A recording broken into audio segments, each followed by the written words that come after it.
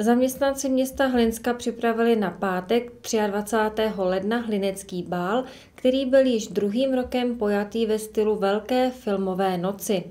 Filmovým antré v duchu slavné scénky z filmu Jáchyme hoď ho do stroje ples zahájil moderátor a bavič Martin Zbrožek. Hlinecký bál byl zahájen v pátek po 19. hodině. Před multifunkčním centrem museli příchozí projít závorou upomínající na film Tři veteráni. Hned ve vstupu poté čekala na hosty dezinfekční rohožka pana starosty. O hudbu se během celého večera starala kapela Čtyři síkorky ze Žďáru nad Sázavou, která hudebně provázela již loňský bál. Kapelu střídalo DJské duo pod pseudonymem Klub spáčů. O zmiňovanou úvodní scénku z filmu Jáchyme hoď ho do stroje se postaral moderátor celého večera Martin Zbrožek spolu s pracovníky multifunkčního centra obsluhujícími vysokozdvižný vozík. Přátelé, ano, ano, slyšíte hudbu, je vám to všechno jasné. Do vaší obce, prosím, zavítala věda. Ano, samozřejmě, věda, jak vidíte, všechno je vědecké.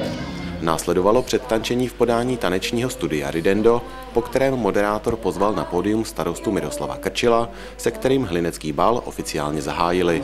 Tady se někde krčí pan starosta. Ve společnosti je to pan starosta Miroslav Krčil. Dobrý večer, dámy a pánové, milí přátelé, dobré taneční a filmové zábavy.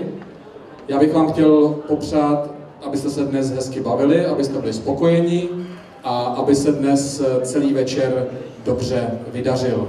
Poté již patřil parket tanci a návštěvníkům plesu. Přestávku mezi tanečními kreacemi udělala módní přehlídka, při které skutečný salon Diana představil nejprve společenské a potom svatební šaty. Následovala ukázka společenských tanců opět v podání párů tanečního studia Ridendo.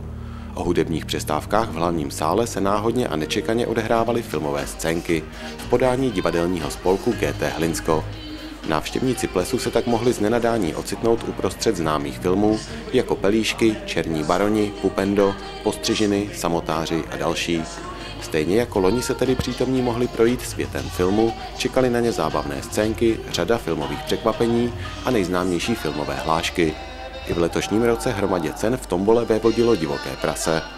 Ochutnat bylo také možné pestré filmové menu, ať už kančí se zelím ala slavnosti sněženek, jitrničku, kterou svět neviděl, nebo krupicovou kaši z hrnečku vař. Odnést si stylovou fotografii bylo možné z filmového fotokoutku ve foaje. Obsáhlý sestřih z Hlinecké filmové noci přinášíme v aktuálním kaleidoskopu pro tento týden.